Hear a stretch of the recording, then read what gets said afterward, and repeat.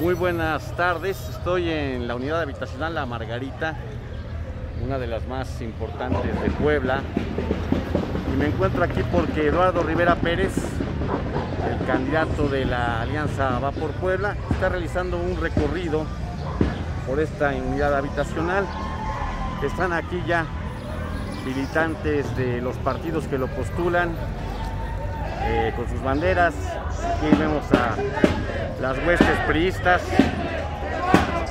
De un lado viene también la gente de Compromiso por Puebla, un partido local. Aquí viene el candidato con su esposa, Liliana Ortiz.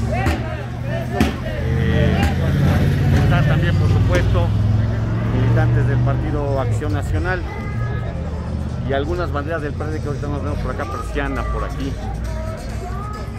Y bueno, pues aquí está platicando el candidato con una eh, comerciante.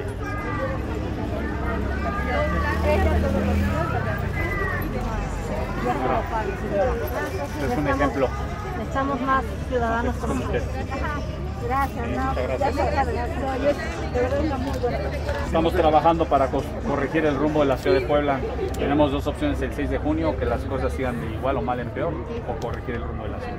Estaremos ahí. Muchas gracias, eh, con su apoyo, eh, gracias. Hasta luego. Gracias. Luego. Ahí está el diálogo que el candidato opositor tuvo con una vendedora de tamales. Y bueno, pues sigue la actividad proselitista. Vamos a seguirles informando.